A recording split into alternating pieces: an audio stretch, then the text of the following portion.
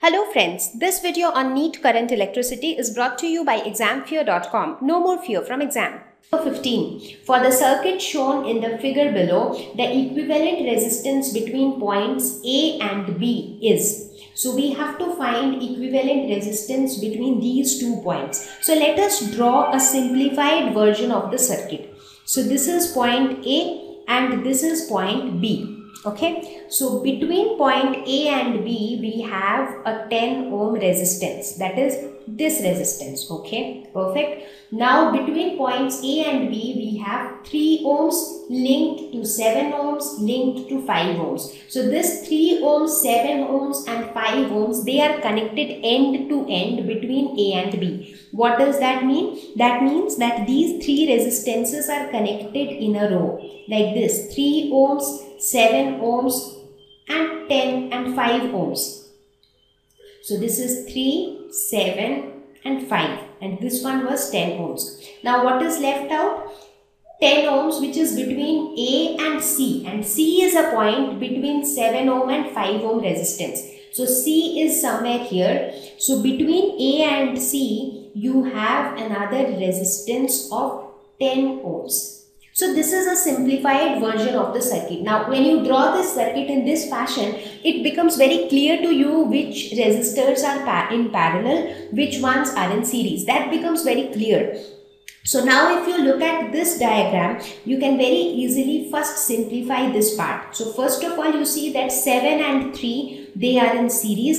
So 7 plus 3 is 10. Now you see this 10 and this 10 ohms. These two are in parallel. So 1 by R parallel is equal to 1 by 10 plus 1 by 10 which is equal to 2 by 10. So 2 5s are 10. Therefore R parallel is equal to 5 ohms. That means this entire thing. Now you can remove 3, 7 and 10. Instead of all of these you can just write 5 ohms because 5 ohms is the equivalent resistance of these three resistances right so now this 5 ohm will be in series with this 5 ohm because this entire thing is replaced with one 5 ohm resistor right so basically the circuit diagram now has become somewhat like this you have one 5 ohm here you have one 5 ohm here and you have a 10 ohm here. So this is how the circuit looks like now. So now these two 5 ohms are in series so they together make a 10 ohm. Now this 10 ohm and this 10 ohm they are in parallel. So 1 by R equivalent is equal to 1 by 10 plus 1 by 10 which is equal to 2 by 10. So 2 5s are 10 this is 1 by 5. So R equivalent is equal to 5 ohms. So B is the right option. Question number 16. If the voltage across a bulb rated 220 volts 100 watt drops by 2.5% of its rated value, then the percentage of the rated value by which the power would decrease is. Now, how is power related to uh, resistance or voltage? So, power is equal to V square by R. Therefore, we can say that an increase in power delta P by P will be equal to 2 into delta V by V because resistance is anyways constant, right? So, delta P by P is equal to 2 into delta V by V. This is something which we have already learned in our theory.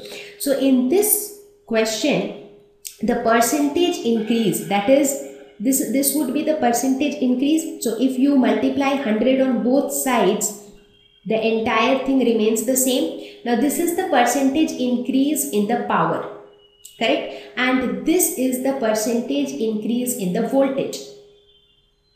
Correct. The question says that the voltage drops by 2.5%. So the voltage drop in percentage is given by 2.5%. So the power drop will be equal to 2 into 2.5 which is 5%. So the correct option is C. Question number 17. In the circuit shown, the potential difference between X and Y will be. So what would be the potential difference between these two points? So if you look at this circuit, this is an open circuit. And what happens in an open circuit? There is no current flow. So the current flow is equal to 0. Now since there is no current flow that means the potential difference between these two points is what?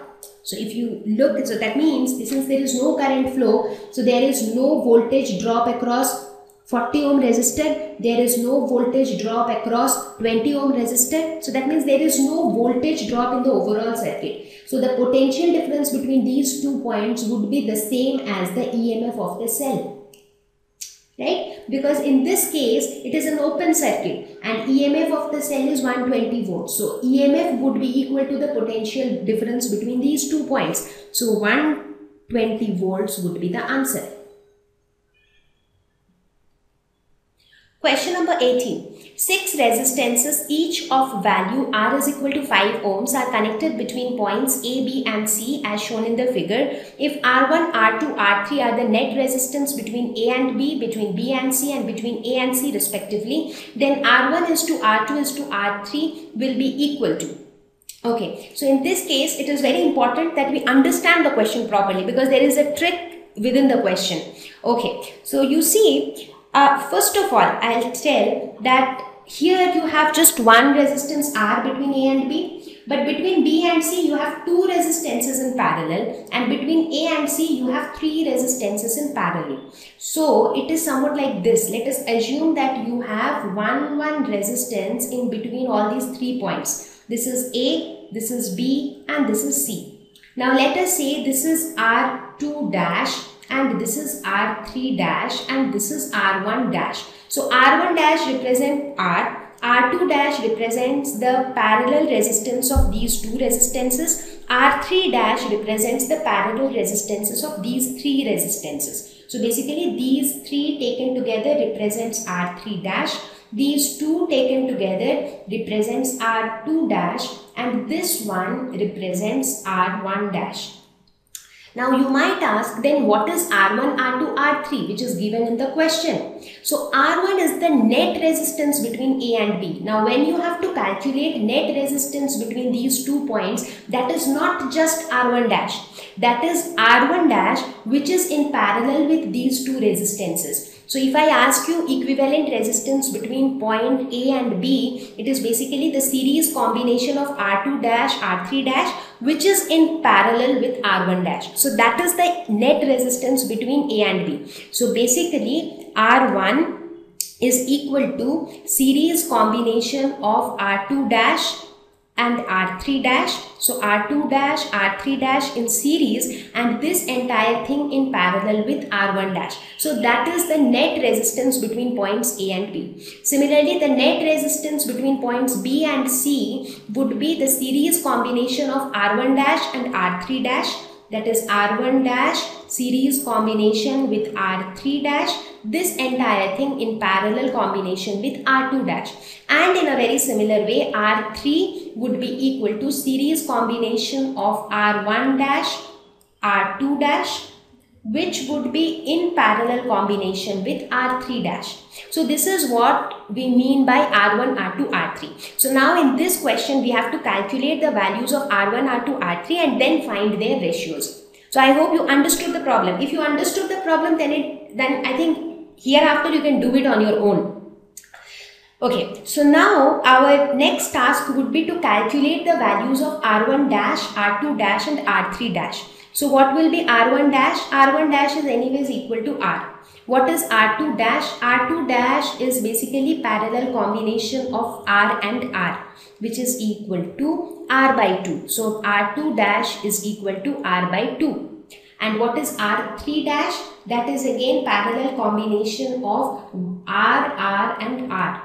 So this is equal to R by 3 right? So we have calculated R1 dash as R, R2 dash as R by 2 and R3 dash as R by 3. So now we have these three values. We can put these three values in these three relations and calculate the value of R1, R2, R3. So let's do that. So we will first start with R1. So R1 is basically a series combination of R3 dash and R2 dash. This in parallel combination with R1 dash. So R3 dash is R by 3, R2 dash is R by 2 So this is in parallel combination with R1 dash. So R by 3 plus R by 2 is equal to 5 R by 6 and this is in parallel combination with R1 dash. So therefore we can say 1 by R1 will be equal to 1 by 5 R by 6 plus 1 by R1 dash. So that's how we calculate parallel combination, right? So this will be equal to 6 by 5R plus 1 by r. So this is equal to 11 by 5r. Therefore, we can say r1 is equal to 5r by 11. So this is the value of r1. Now in a similar way, we have to calculate r2. So R2 is series combination of R1 dash and R3 dash and this in parallel combination with R2 dash. So this would be R plus R by 3 which is in parallel combination with R2 dash. So R plus R by 3 would be 4R by 3 in parallel combination with R2 dash. So therefore 1 by R2 will be equal to 1 by 4 by 3 which is 3 by 4 plus 1 by R2 dash. So 3 by 4R and R2 dash is R by 2. So this would be 2 by R. So this value is equal to 11 by 4R Therefore, R2 is equal to 4R by 11. So, we have calculated R2. Now, we have to calculate R3. So, R3 as we have said that it is series combination of R1 dash and R2 dash and this in parallel combination with R3 dash. So, this will be equal to R plus R by 2 in parallel combination with R3 dash. So R plus R by 2 is 3R by 2 in parallel combination with R3 dash. So we can say 1 by R3 is equal to 1 by 3R by 2 which is 2 by 3R plus 1 by R3 dash which is 3 by R.